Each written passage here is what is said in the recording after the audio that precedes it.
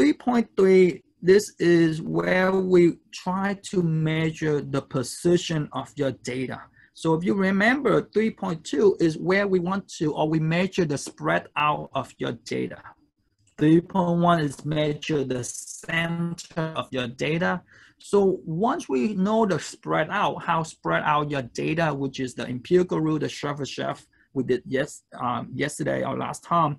Now we want to know if we have a particular data, what position is that data compared to every other data? So the easiest thing, like I mentioned on the end of, of, of the Chebyshev versus the empirical rule, I mentioned about this z-score. And the z-score is basically tell you this, is basically tell you take the data minus the mean divided by the standard deviation. Whatever your data is, minus the mu, which is the mean, divided by the sigma, which is the standard deviation. And if you find the z-score, the z-score just tell you how far apart are you uh, from the mean right? Meaning if we have a bell-shaped curve and the bell-shaped curve is the same for every single data or for any normal distributed data. And if you refer, if we refer back to the empirical rule, um, when we say within one standard deviation, meaning it's corresponding to a negative one at the z-score and a positive one as a z-score. And if within one, meaning again, between negative one and positive one, it includes 68% of your data. And vice versa between two, which is negative two and positive two, that would consider 95% of your data. And negative three and positive three, that would consider almost all of your data. Okay. And if you have a positive z-score, it just tell you that you are above the mean and you are how many ever step above the mean. For instance, if you have a positive 1.5 z-score, meaning you above the mean 1.5 of the steps, okay? It's not the unit because the unit is the actual data itself, right? But the z-score basically tell how far are you from the mean. And if you have a negative z-score, just tell you that you are below the mean, that how many spaces below the mean. And later on, when we get to chapter six, the z-score is we call that a standard normal. Standard normal, which is basically tell you that if we have a bell-shaped curve and we the z-score will be the same for every bell-shaped curve that we have or a normal distribution curve so let's take a look at this formula in action or how does how do we use this formula to answer the question that we needed. And the unique thing about the z-score, ladies and gentlemen, is we can compare the data to a different type of data, right? We can compare my ACT score to my SAT score, or I can compare the weight to the height of the person, right? So looking at this here, they tell you that the mean score of the ACT is 21.4 with the standard deviation of 5.1. And the mean score of the SAT is 1350 with the standard deviation of 126.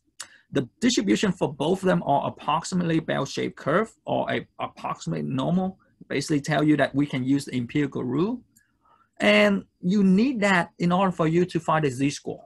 You need to have a approximately bell shape. Okay.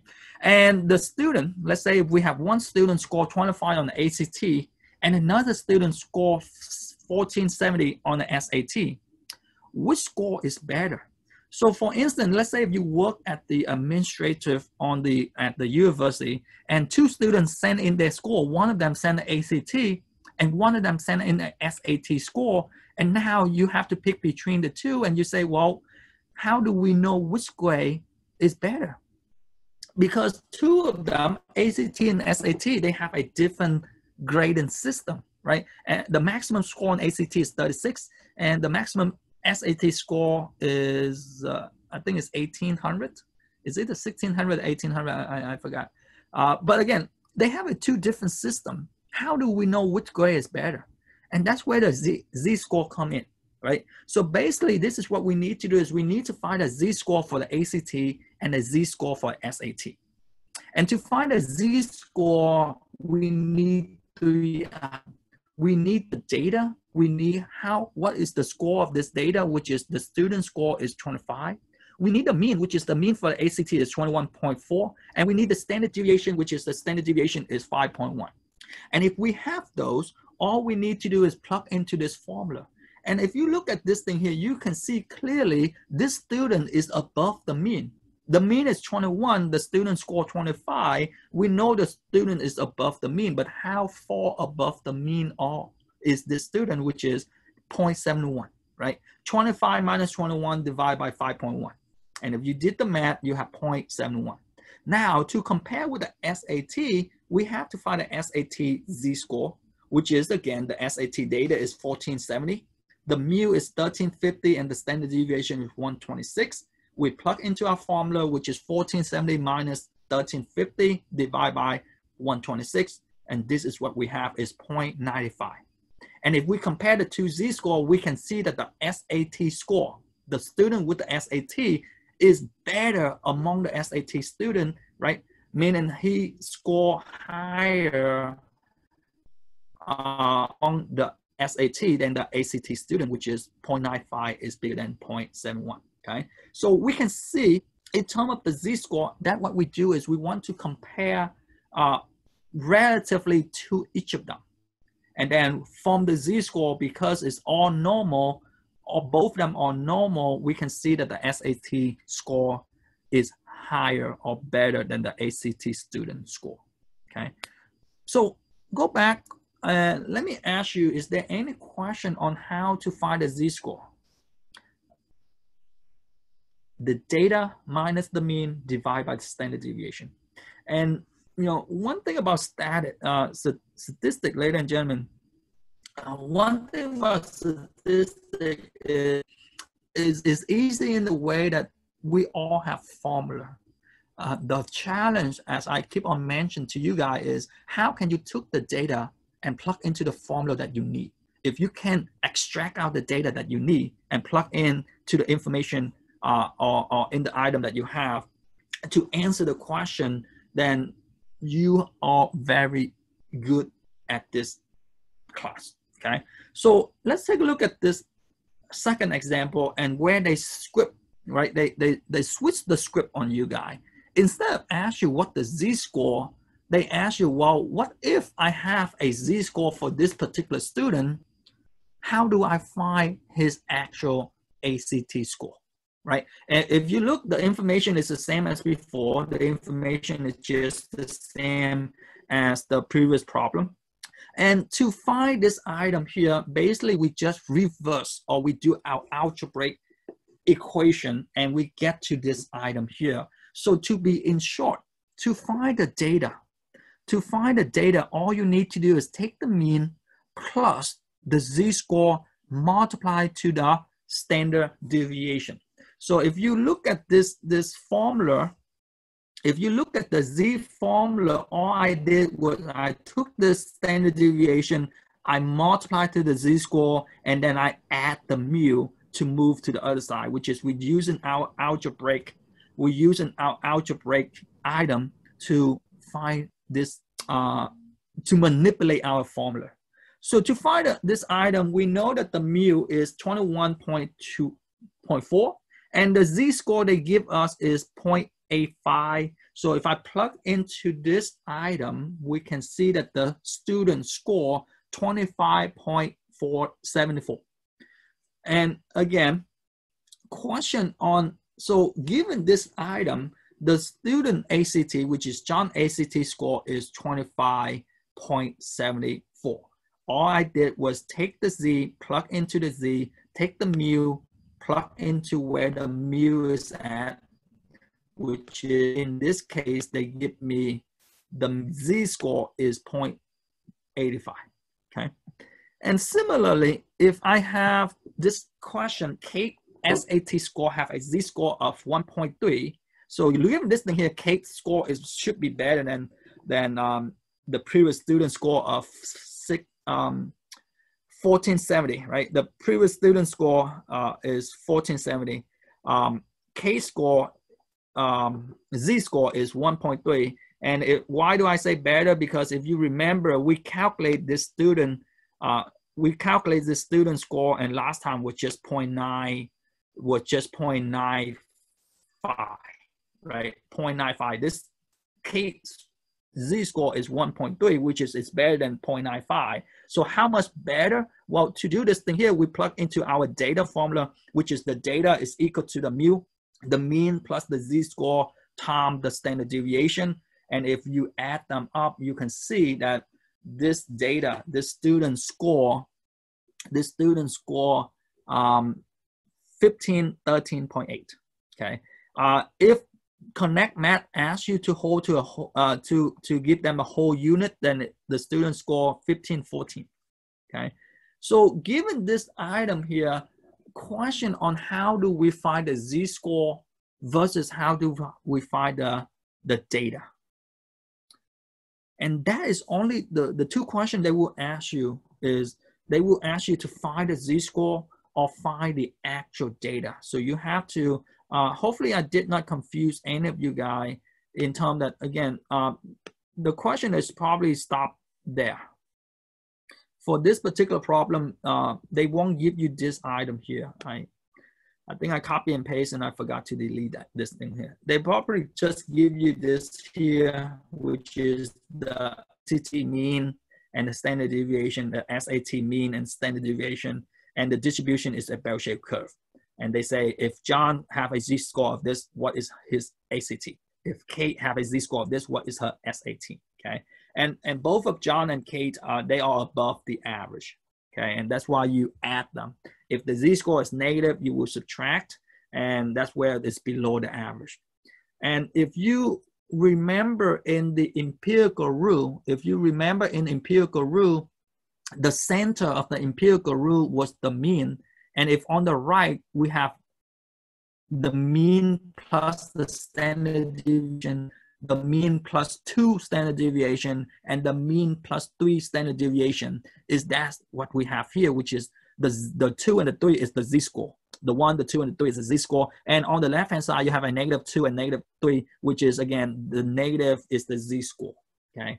And, and that's what we have in, in this problem question with with how to find the z-score or how to find the data if they give you the z-score. Any question here? Well, if you don't have question with the z-score, the next thing we have is quartile. So what is a quartile? Your quartile is just like the word a quarter. So basically your data all they do is they split your data, whatever your data is, they split it into four pieces. And if you think about this, this, this piece of data, whatever your piece of data, in order to split into four pieces, we need to cut three slices, right? If you cut three slices, the last one is the last piece, right? So if we have four pieces, we only need to cut into three slices. So to cut into three slides, which is the first slide will be 25%.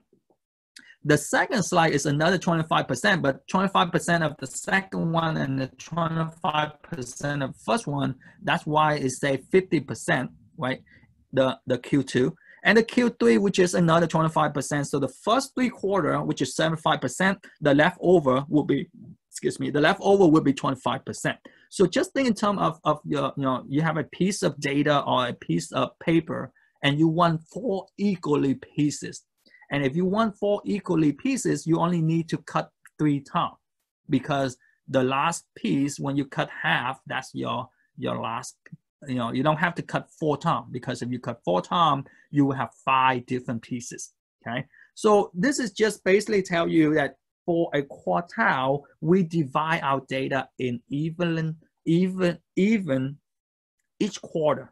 So Q1 is the first quarter, Q2 is the first two item, which is 25, 25, and so on and so forth. Okay. And basically they tell you to divide your data into quarterly. And the second item that I would just mention, and, and we won't do a lot of, of of item because I think on Connect Math they only ask you to explain what is the data is or how does the data fall. Okay, so the percentile similar to a quartile, percentile is you have your data and instead of divide into four quarter, each quarter, we divide into 100 different pieces. And each piece is 1%.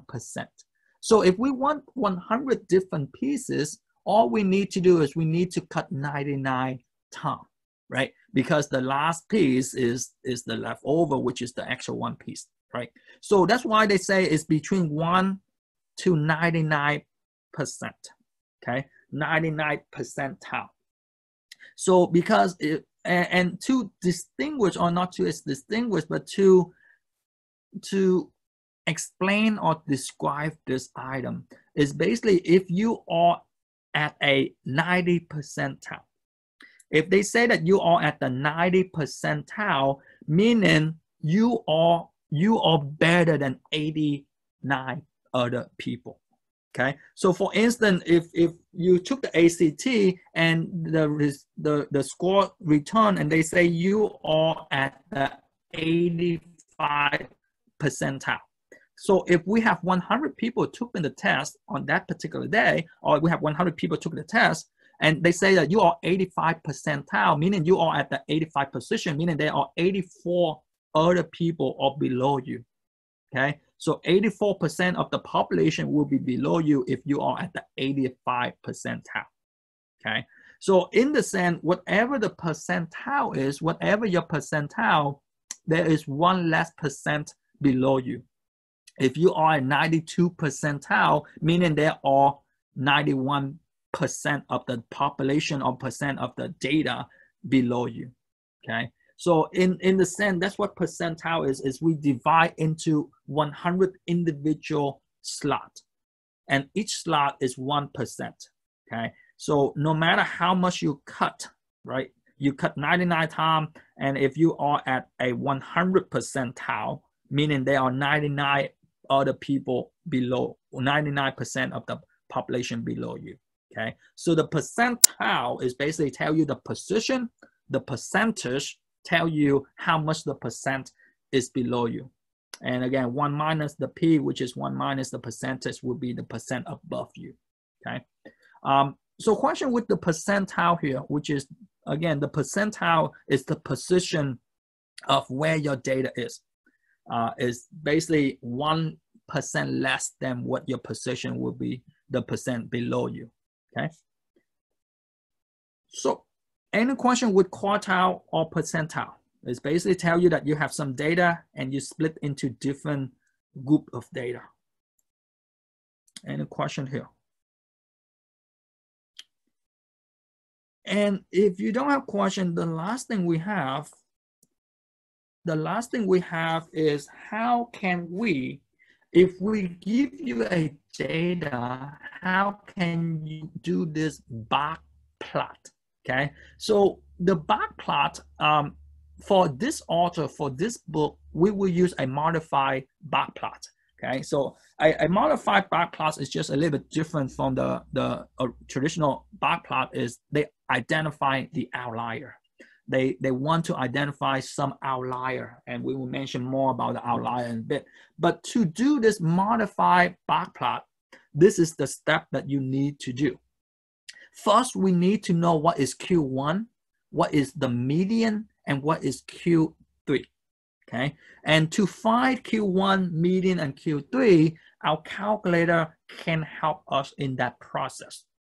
And looking at this thing here, once you find Q1, median, and Q3, your median is actually your Q2. Okay, Q1, Q2, Q3, but your Q2 is your median. And now to find this outlier or to identify the outlier, we need this item here, which is we need the IQR. The IQR is basically you take your Q1 or you take your Q3 minus your Q1. So your interquartile range, how far apart from Q1 to Q3, your inter, inter, interquartile range is you take Q3 minus Q1. So we've used the calculator to find Q1 median Q3. To find IQR, we take Q3 minus Q1. And now we need to know what is my limitation. We need to find the lower boundary. And to find the lower boundary, we need to take Q1 minus 1.5. The 1.5 here is just a fixed number, ladies and gentlemen. It's just a fixed number. We want to set some range, and the 1.5 is the range of the item that they want to use. Okay, so all we do is we take the Q1 minus 1.5 times the IQR that we found in step two. And to find the upper limit, we take Q3 plus 1.5 times the IQR that we find in step two. And this is what we have is if your data, if your data is lower, if you have your boundary and your data is lower than the lower boundary, we say that that is an outlier.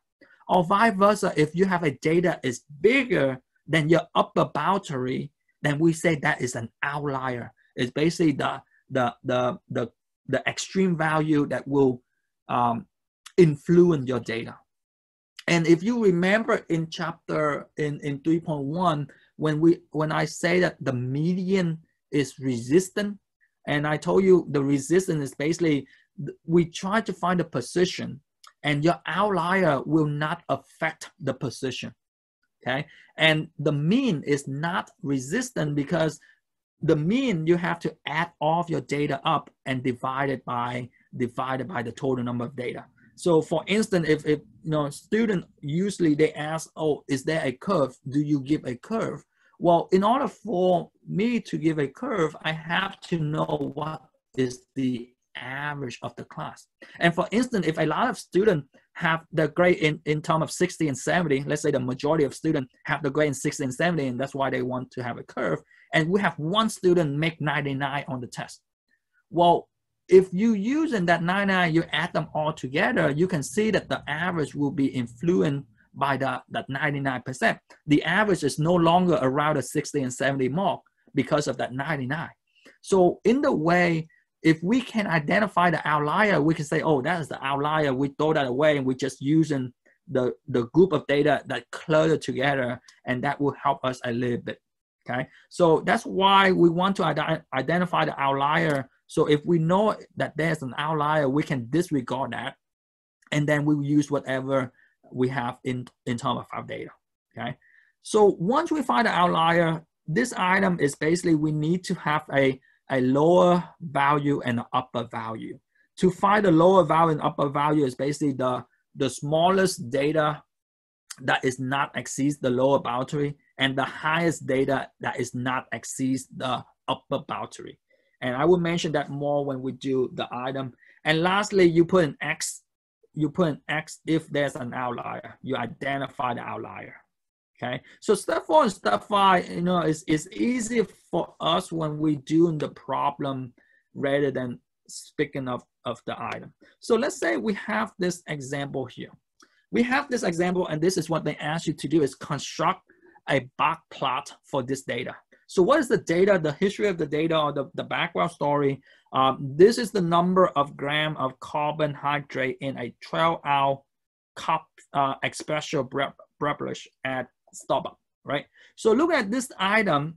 How do we find, uh, how do we construct the box plot? And to construct the box plot, the first thing we need is we need to find Q1, Q2, Q3, or Q1, median, Q3. And to find the Q1, Q2, Q3, I mentioned this, which is your calculator can help you with this item here. So if you were to look at this item here, so let me clear this item. So to use your calculator, this is what you guys need to do is you need to hit stat and you need to edit as always. This is what we have. We need to edit. And let me uh, let me skip this step. Since I have, uh, no, my, I, I deleted. I would say I got the data already. But uh, again, this is what we have is you need to hit stat go to edit and type your data. We have 22 data. We need to type the 22 data in my L1. And to type my, again, um, 14, 43, 38, 44, 31, 27, 39, 59, 9, 10, 54, 14, 25, 26, 9, 46, 30, 24, 41, 26, 27, and 14. So if you look at your, no, if you look at your data, you can see that the last data 14 is L1 say 22, meaning that is I have 22 data. So again, one thing like I, I keep on mentioning, a lot of the problem for this class is, is calculator driven. Uh, make sure you type in your data, right? Double check your data. Again, my data, I have 14, 27, 26, 41, 24, 30, 46, 9, 26, 25, 14, 54, 10, 9, 59, 39, 27, 31, 44, 38, 43, and 14. So again, uh, you know, take a, a, a, a, you know, 15 second or 30 second to double check your work, check, double check your data, right? So once you have your data, you hit stat one more time and you go over to calculate. As you can see, so far we only using one for stat, which is one for that You leave the frequency blank for 83, you just press enter and they calculate this for you. And reminder, this is what we have last time, which is the mean, the average is 29. S, the S is your sample standard deviation and your sigma is your population standard deviation. Those are the things we use on the previous section. The thing we need is if you scroll down, if you press down, if you scroll down, they tell us the n is equal to 22. That's what we have. We have 22 data they tell us that the minimum data, the smallest data in my data is nine, and the maximum data I have in my data is 59. So they tell me the minimum is nine and the maximum is, is 59. And the other thing that we need, if you look at the item, we need Q1. They tell us the Q1 is 14.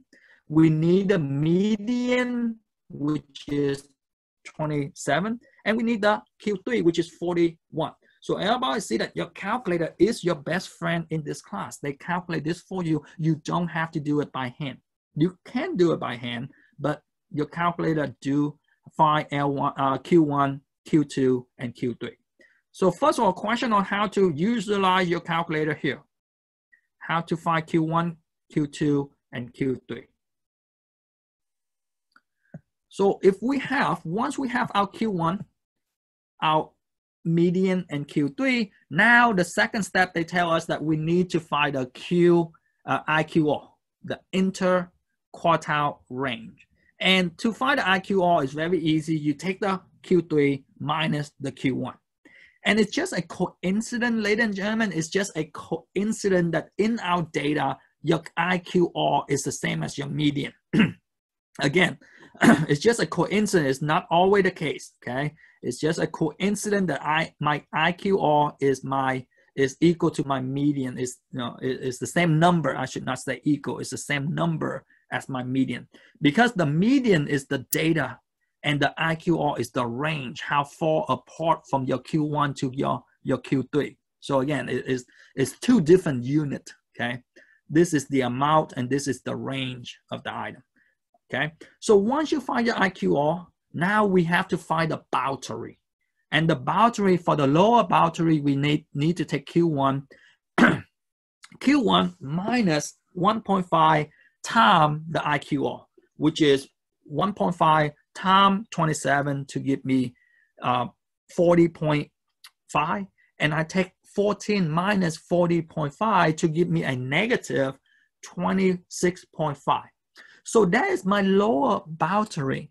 So if you remember the data, the calculator tell us that the smallest data I have is nine. So we can see we don't have any outlier. We don't have any number smaller than 26.5, right? If your data, if you have a data, if you have a negative 27, we say that is an outlier because negative 27 is smaller than negative 26.5. Or if you have a negative 50, then we say that that is a outlier. But as you can see, we cannot have a, a negative amount of carbohydrate in our coffee, right? so the second thing we need to do is once we find the lower limit, we need to find the upper limit, which is the upper boundary. And to find the upper boundary is just basically you take the Q3, add it to the 1.5 times the IQR, which is you add to the 40.5. And if you add to that, you have 81.5. And if you remember our data or your calculator tell you that the highest data you have is 59. So if the highest data is 59, we can see that we don't have any number bigger than 81.5. So there is no outlier. Everybody see the, how to identify the outlier. It's basically if you have any particular data that is bigger than this upper boundary or smaller than this lower boundary, then we say that is an outlier. So step one, you know, find the Q1 median and Q3, your calculator can give you that. Step two, we find the IQR, which is interquartile range. You take Q3 minus Q1. And step three, we need to find the boundary, our limitation, right? So once we have that, this is what we need to do is we need to create a box plot. And to create a box plot, if you look at this item here, my data is from 9 to 59, which is I can start from 0 to 60. I don't need any bigger than this item here, okay? And once you have this data, all you need to do is identify your lower data, your minimum data. And in this case, remember your minimum data had to be a data that is bigger than your, your lower limit, right? Your Q and your higher, your maximum data that is smaller than your item, which is everybody see that my nine. My nine is my minimum data, which is the calculator tell me that my minimum data is nine so nine is here. You know, it doesn't have to be exact, it's just somewhere there. And my highest data is next to each other, which is my highest data is 59. My 59 is there. So I identify the minimum value and the maximum value. And then I identify my Q1, which is Q1 is 14, somewhere maybe a little bit more over to the right, but somewhere there, 14, right? And my Q2, which is 27, and my Q3, which is 41. So I identify the five item I need, right? And sometimes if you Google this and, and, or you try to find, they, they might have, they might say the five, uh, five uh, plot summary, uh, meaning again, this is the five item that we have. And once you have this five item, the only thing they tell you is put the box, put the box between Q1 and Q3. So this is your box and then from Q1, you draw a line to your minimum value. And from Q3, we draw a line to your maximum value. So this is all we have to do in terms of the box plot is your box contain your Q1 all the way to Q3. That is your box. And your, uh, your minimum, you draw a line from the Q1 to your minimum and the line from Q3 to your maximum. You know, back then when I took this class, we called this a box and whisker. Uh, and again, box and whisker, which is we have a box here and there are a two whisker from the lower, the Q1 to the lower limit and Q3 to the uh, maximum number. So one thing is don't make, don't get a confusion that this item here, this item is not your lower boundary. This item is not your lower boundary and this item is not your upper boundary. Okay, my lower boundary is negative 26. My, my negative 26 is somewhere over here. My upper limit is, or upper boundary is 81. 81 is somewhere here. Okay, so your maximum and your minimum is basically one number bigger than the lower limit, right? The, the smallest number that is bigger than the lower limit and the smallest num the, the next smallest number that is lower than the, the upper limit. Okay, so this is how your box plot look like. Your box plot look like this, which is my box, and I have my, my outlier. So look at this thing here. For instance, uh, first of all, question with this item, how, how to come up with this box plot.